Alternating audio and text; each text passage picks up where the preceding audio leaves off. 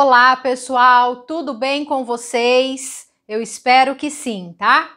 Pessoal, vídeo de hoje venho trazer para vocês as últimas informações sobre o estado de saúde do Dr. Sandro.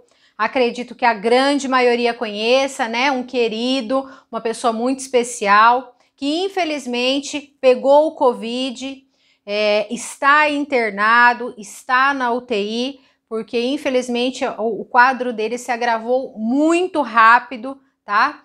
Onde ele acabou tendo que ser entubado, tá, pessoal? Mas temos a grande notícia, né, de que ele já foi estubado, um progresso assim maravilhoso, pessoal. Graças a Deus, ele não precisou ficar muitos dias entubado, porque a gente sabe, né, que quando a pessoa pega é, essa doença, infelizmente, acaba tendo que ser entubado, a pessoa passa por vários dias, né, e ele não, gente, graças à força dele, às nossas orações, todo mundo rezando por ele, ele está evoluindo e conseguiu, né, sair do tubo. Graças a Deus, não é mesmo, gente? Temos também mais uma evolução, doutor Sandro, graças a Deus, olha isso. Ele saiu também do, da sonda, né? Ele estava tendo que utilizar uma sonda gástrica para se alimentar.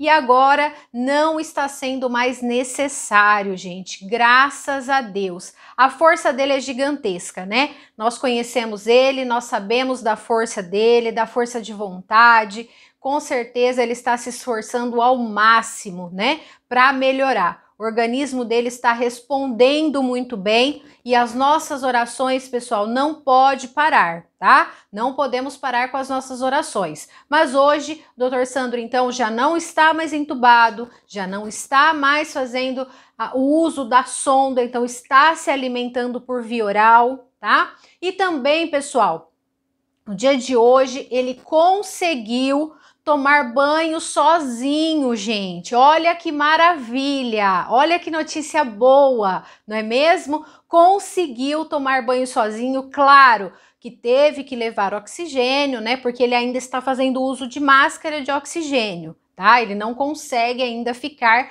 sem o uso do oxigênio, mas conseguiu ir tomar, tomar o seu banho sozinho, depois conseguiu ficar sentado, então ficou sentado numa poltrona, graças a Deus está evoluindo. A equipe médica está assim encantada com a evolução dele, tá? Diz que está sendo uma evolução muito rápida.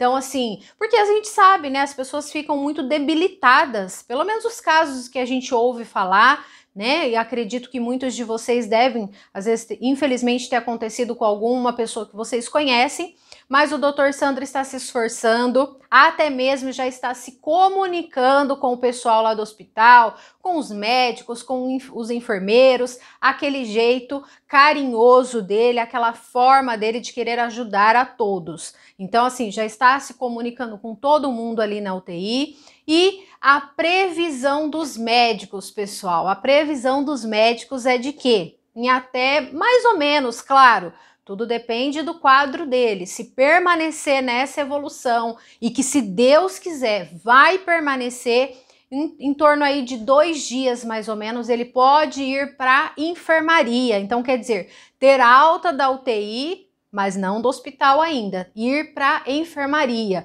Mas já é um grande passo, né, gente? Nós sabemos a gravidade que é quando um paciente está na UTI, ele não está lá à toa, não é verdade?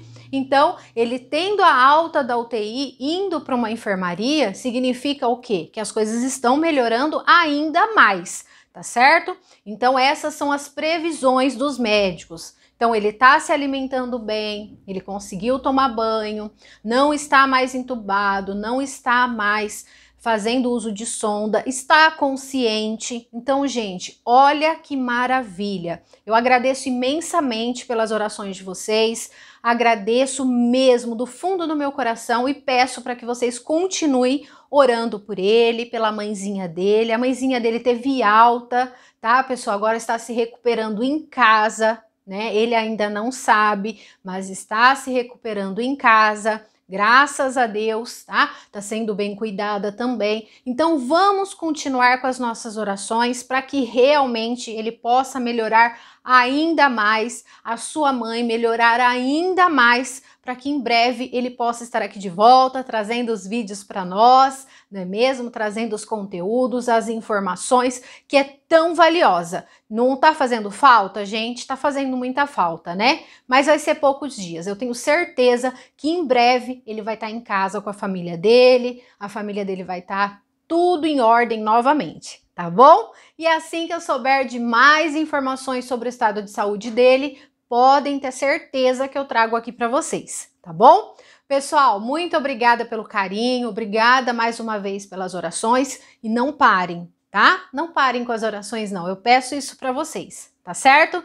Fiquem com Deus, tá, pessoal? Tchau, tchau.